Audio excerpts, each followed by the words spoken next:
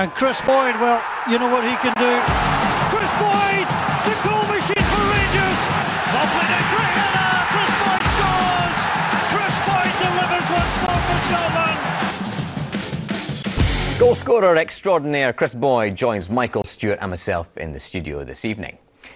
Well, that was eventful to uh, say the least. It was supposed to be uh, Hearts assistant manager Billy Brown's uh, last match as assistant manager. but It turns out, news today, that he will now be staying on till the end of the month. Uh, chaos on the pitch, pretty much, Michael, yesterday. Is it chaos off the field at Tynecastle as well? Well, there's a lot of mixed messages coming out. Um, you know, obviously they released a statement saying that uh, you know Billy was leaving after the St Johnstone game, and now it seems as if he's staying on till the end of the month. I think what that highlights is the fact that there's too many Chiefs and not enough Indians at the club at the moment. You've got the administrators, you've got the managing director, you've got a director of football, you've got the potential uh, Foundation Hearts coming in. The sooner it gets resolved, the better, so there's a bit of leadership in there and they're actually moving forward rather than at the moment it's a bit of a mess. It was a busy afternoon for the referee, Brian Colvin, say the least, yesterday. Chris, you've seen plenty of clear goal scoring opportunities yourself in your career. Was this a clear goal scoring opportunity? No, I don't think so. You know, he's going away from goal, and I think Fraser Wright maybe getting back in as well. Um, with the way he's took his first touch round about. Could uh, Fraser Wright catch him? I don't know. You know, he's, he's definitely he definitely would have had a chance, but I don't think it's a, a red card from where it is in the pitch. Michael? No, definitely. Definitely not. You know, it was so far out. You know, we're talking about 40 odd yards. I think it was a, you know, it was a harsh decision to, to brandish a red card, especially with it being so early in the game as well. I don't think there was any great malice in the tackle.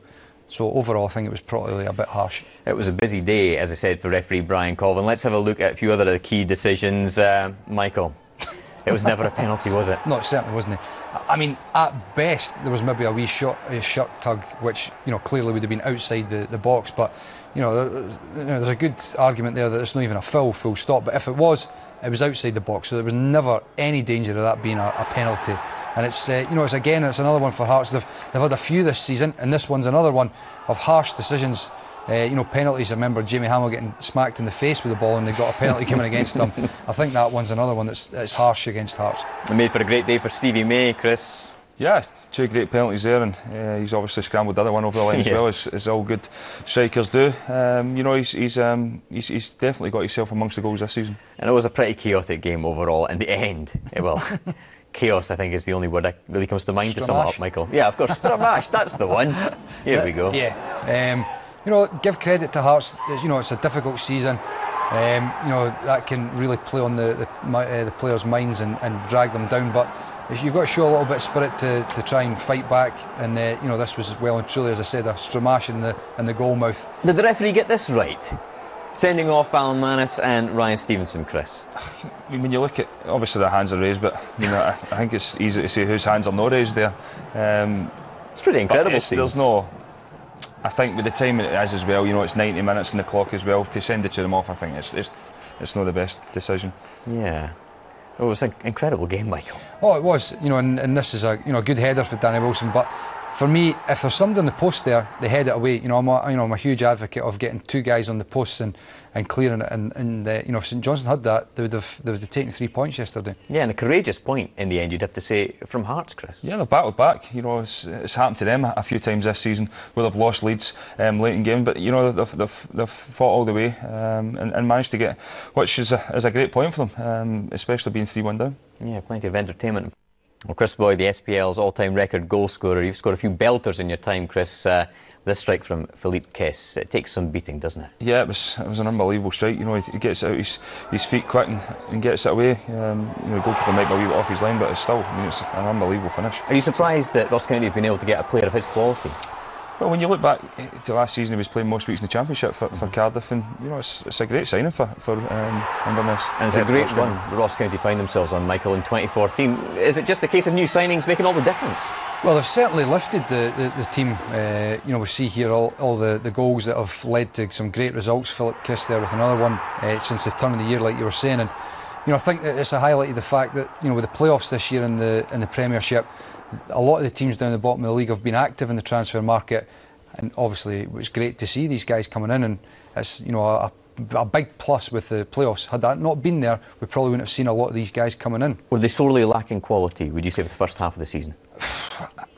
you know, the thing about Ross County is they've had a settled team for such a long time, a number of years, and in the summer there was a big turnaround in players, probably the biggest they've had in four or five years. And I think that's the problem. It's taken time to settle in. With that extra quality that's coming in January, of course, that's lifted the, the team as a whole. You're with Kilmarnock, Chris, of course. Do you see yourselves scrapping with the likes of Ross County? That playoff place is obviously uh, going to be a factor this season. Yeah, I mean, I think the four that's there now are, are going to be, you know, it's going to be like that all the way. Um, from now to the end of the season. But you know, we need to look in the positives, and, and, and hopefully we, we can, um, you know, stay at the top of that um, in the League Four. But you know, it's going to be difficult. Okay, St Mirren have been tipped by more than a few to play a part in the playoff place scramble. The Paisley side were away to Hibs yesterday at Easter Road. Commentary comes from John Barnes. Yeah, and handball's a real feature of tonight's show. Michael, Adam Campbell really getting away with it right at the end there, and it could have been a big point for, for Hibernian. Yeah, of course it would have been a great comeback for them, and you know it's another one that the referees have uh, not got right. You see here we've highlighted the fact he's got an unobstructed view of that there. Yeah. That's a handball. It's a penalty. I think it's unintentional. I don't think you know he turns his back. He doesn't know where the ball is. He's trying to get his arm across the the Hibs player Harris there, but it hits his arm. It deviates. You know a, a big deviation. And uh, you know, as we saw, the referee's got a clear view of it, and it, you know that should have been a penalty for Hibs. Yeah. Apart from that, uh, Adam Campbell had a, a good game. You'd have to say, Chris, and St Mirren had a great first half as well, and, and Campbell at the centre of a lot of the good things. Yeah, it shows a uh, great pace to get down the thing and a good ball back. I think the, the Hibs defence, you know, a bit disappointed. um, but, you know, he's, he's, done well from where he is there to, to get inside the, the six yard box and, and, and get a finish. Um, you know, but I'll go back to it again. I think Hibs should have squeezed the game, um, squeezed the ball a, lot faster than what they did in, in the goal when they, they wouldn't have been able to yeah, get in the position to, to get such an easy finish. Yeah, Michael Campbell's come on loan from Newcastle United. He's not the first to uh, have treaded that path from Newcastle to St Mirren. It's obviously paying dividends for the Paisley club. Yeah, obviously Conor Newton's uh, been at the club for a while now and done very well. And Campbell comes in in his debut against Hibs there, and he's you know he's clearly had a, a big impact on the game and uh, you know caused the fullbacks chaos all day. Yeah, Terry Butcher described it as probably the most wretched 45 minutes he's ever had from one of his sides. Chris, um, you wouldn't really want to be in the Hibs uh, training ground tomorrow, would you? Definitely not. But I, I, think it shows how far Hibs have came in the last couple of months when you know they're disappointed. Um, you know, I think the, the big the big thing is they've lost a, a game at home um, that would have expected to win with the run they've been on. Um, you know, that's a big disappointment for them. But you know, I wouldn't like to be that training ground tomorrow. Absolutely. And Michael, in terms of St Mirren, how Jekyll and Hyde are they? Massively, you know, they're, they are a real hot and cold team. They, they go on, you know, streaks where they'll, they'll, they'll get some good form. Unfortunately, the, the cold streaks and the, the bad runs are they, they get quite, you know, they're quite long. And the problem is that uh, you know every time that there's a bad run, there's a bit of you know apathy from the fans, and um, you know obviously a good result there on Saturday, and um, you know Daniel Lennon will be looking to try and make sure that that's a, a good run for them now. Absolutely. Well, we'd see the end of at least one impressive winning streak this weekend. After their weekend, Turkey, Celtic were back in league action, looking for their 10th straight Premiership win in a row. They faced the Motherwell side looking for their 7th straight league win. The last time Stuart McCall's side had lost a match, though, it was a 5 0 home defeat to Celtic back in December. Well, Kris Commons, very much kind of the star of the show yesterday. Chris, he's got 19 goals already this season. Is he a dead set for Player of the Year, do you feel? Yeah, I think he is. Um, but you know, he brings so much more to the, the Celtic team than, than goals as well. You know, he, he links the play between the the you know Anthony Stokes there, and you know he plays the ball through and, and gets on the end it like you know all good strikers do. Um, you know, it's. He's such a valuable you know, player. When you see the, the, the, ball through as well, it's a, it's a great ball, and then he's, he's managed to fall. And I think maybe the goalkeeper should do a bit better, but um, you know he's, he's followed in and he's, he's got his goal from, from a scrap again. Yeah, you know, you know, we've heard him this week talking about, you know, he wants to stay on at Celtic, and I'm pretty sure that Celtic will be desperate to keep him as well. He's a guy that, you know, in the top end of the pitch that you look for people to have an end product, and mm-hmm. he's certainly got that. He'll either, you know, set people up like there with uh, with Stokes, great way to pass, splits the defence open, but he also pitches in with a lot of goals. And that's what you want. You want somebody with an end product, and he's got that in abundance. Absolutely. It was 2 0 to Celtic midway through the second half, Chris, and a great chance for James McFadden if this goes in, then it, it does become a different game. But he, he fluffed his lines, didn't he? Yeah, but I think the, the ball should probably Keith Lasley should probably pass it to him there first of all. Um, yeah. You know, and I think you know, I'm almost thinking up for, for, for James there. I think he knows he's selfish, he should finish it, but sure. you know, I think he's probably expecting the ball from Keith Lasley straight away, and he can get it out his feet and get a shot away. Um, you know, and, and, it comes at him pretty fast there as well. But you know what, the goalkeeper, goalkeeper's made himself big and made a good save, though. Yeah, absolutely. Uh, sending off in this match, Anthony Stokes. Um, let's have a look at it because it was a fairly clear sending off. Uh, Celtic were well in command of the match at this point as well, Michael, and. Uh, I think the funny thing is Anthony Stokes, the picture of innocence after that. Well, I was very surprised that he'd picked up the red card, but um, I think you know Anthony Stokes must have been the only person there that uh, wasn't expecting that. You know, it's, there's no doubt that was a it was a red card, um, which is a bit silly. You know, late in the game, uh, you know, winning three 0 at the time to to do something like that. But uh, you know, I think there was maybe the previous from uh, from Lasley's tackle on uh, Adam Matthews, I think, is what's uh, you know initiated it in the first place. Yeah, he's a bit of a pantomime villain, Keith yes. Lasley at Celtic Park, that's for sure. How do you see Motherwell in the equation for second spot in the Premiership uh, in the final equation, Chris? Well, I've definitely got um, good experienced players there, and I think they'll, they'll push Aberdeen all the way. Um, you know, it will be an exciting end to the season between the two of them. Um, you know, I fancy it'll be one of, one of the two of them um, that'll get it. Um, you know, I think Aberdeen they could probably do with somebody to score goals because they dominate a lot of games, but scraping over the line. Um, but you know, I, I fancy have got goals in them. Um, you know, it, it will be close. Okay, well, back to the fun and games down at the bottom of the Premiership table now. Partick Thistle had squandered the chance to get the first home league win of the season last weekend when they let a 3 1 lead over Ross County slip away. New signing from St Mirren, Lee Mair, went straight into the starting lineup. Paul Gallacher also there in for the injured Scott Fox. Thistle with another chance to get that home victory yesterday, this time against Kris Boyd's Kilmarnock. Chris Johnston also found a place in the starting lineup, and so too did young Robbie Muirhead. With the story of the match at Firhill, here's Brian McLaughlin. Thistle were given the perfect start after just three minutes. Kallum Higginbotham with the acrobatic overhead kick that eluded Craig Samson, the ball ending up in the back of the net. Killie defence failing to clear, the 24 year old getting his effort on target, although Craig Samson may feel he could have done better. Higginbotham had a chance to increase Thistle's advantage. No offside flag, the 24 year old though blasted over. Samson redeemed himself in the second half. A fine save low to his left hand side from Taylor Sinclair. Slowly but surely, Kilmarnock began to edge their way into the game. The home defence failing to clear. Kris Boyd's chance on this occasion, though, drifting wide of goal. Alan Archibald's side were looking for their elusive second goal to kill the game off, and they came close when Stuart Bannigan dispossessed Jackson Irvine. His cross met by Stevie Lawless. Again, though, Samson denied the Jags. Gary Fraser was next to try his luck, his shot straight at the keeper. Kilmarnock were struggling to find their way past the home defence. William Gros linked up with Kris Boyd. Clean through and goal. Gallacher with the save, Gros with the rebound, Balatoni with the header off the line. Lee Ashcroft was next to have a crack at goal, his header though tipped over by Gallacher. With 90 minutes on the clock, there was one final chance for Kilmarnock.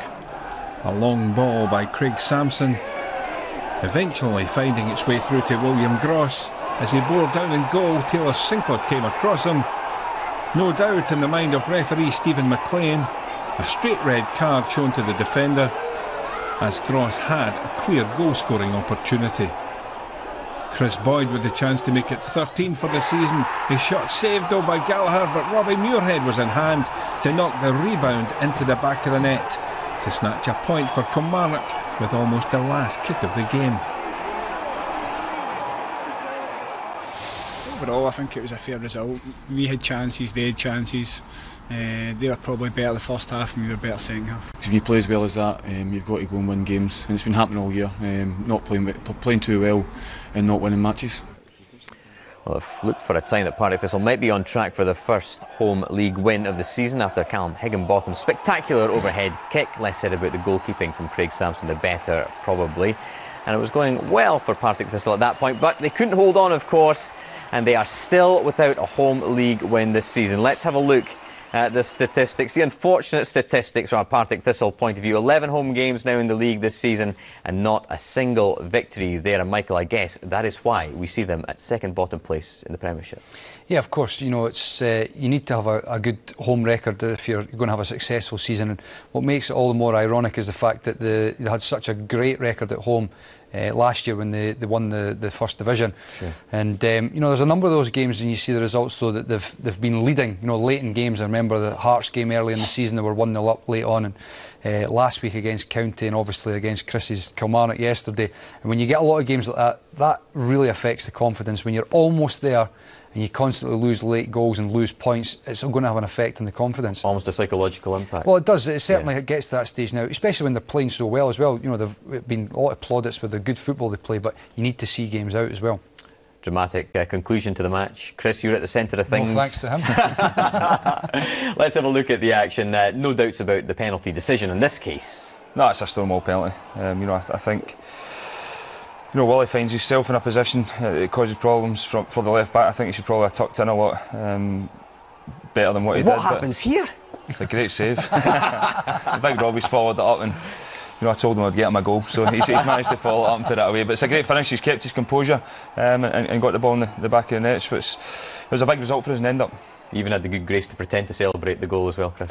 yeah, well, you know, it was followed it up well. It's a great finish. I mean, especially after the start we had as well. Sure. Um, after three minutes, and you know, Craig Samson put his, his, hands up in the dressing room after it. But you know, he's, he's arguably been, you know, a, a player of the year so far, and um, you know it's it was a disappointing start, but to come back, it's a, it's a great point for us. You scored plenty of goals this season. Any offers on the table this January window?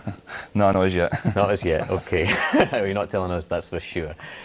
Yeah, bad day at the office for Aberdeen. Great day for Danny Williams, though. Uh, Chris, at one point he was playing in the eighth tier of English football with Kendal Town. Uh, yesterday he got the decisive goal and a great hit as well, wasn't it? Yeah, he finds himself in a great position there off the off the back of the, the, the left back in the centre half, and you know he takes a great first touch to get it out his feet, and you know it's an unbelievable second um, touch, and it's in the back of the net.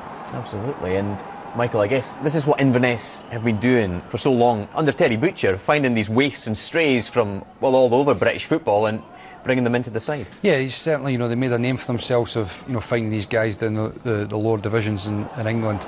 But you see there are, you know, a lot of good passages of uh, pass and play, which is, you know, you heard John Hughes talking about that. They're working on it and training. It's now coming to the fore, and I think you see throughout the, the clips there, there was a, quite a few of them, and he's clearly Danny Williams going to be somebody that will benefit from that because you know he's an attacking winger who John Hughes will look to get lots of the ball and and uh, you know continue the good form that uh, he showed in that game there against Aberdeen. Yeah, how do you assess the John Hughes impact so far, Chris? Because that was only only a second win since coming in for Terry Butcher. It's, it's been difficult when you know Inverness, usually when, when a team loses their manager, um, it's because they're getting bad results. But you know Inverness were up the, the top challenge. It was always going to be a, a, difficult job for somebody to come in. But you know you can see there with some of the passages of play that Inverness have had that you know maybe John Hughes' um, philosophy is getting a, a, across. Um, you know, quick. Um, you know, and, and, I hope he does because you know he's. I've came across him a few times. He's a good guy, one of the good guys in, in football, and um, you, you, just hope that um, they, they, keep progressing the way that um, they, they, did under Terry Butcher. Still contenders for second spot in your opinion? No. Seriously, okay. What about you, Michael? You've always backed Aberdeen. They lost yesterday. Still going with them? Yeah, I think it'll come down to you know a, a battle between uh, with between Aberdeen and Motherwell. You know they're the, they're the two teams. I thought Dundee United would have been there or thereabouts, but you know that run that they're on is an extended run now that they've drifted away. And I think that Aberdeen and Motherwell, are the two strongest teams in the league, and um, you know I think if I was to sort of plump for one of them, I would go for, for Aberdeen to get that second spot in the league. So just a blip from Derek McInnes' side yesterday. Yeah, I think it was. I think it was. Uh, you know, it was a. He said it there. It was a bad day at the office. I think that that's what it was. They'll get that second position in the league. Thanks very much, guys.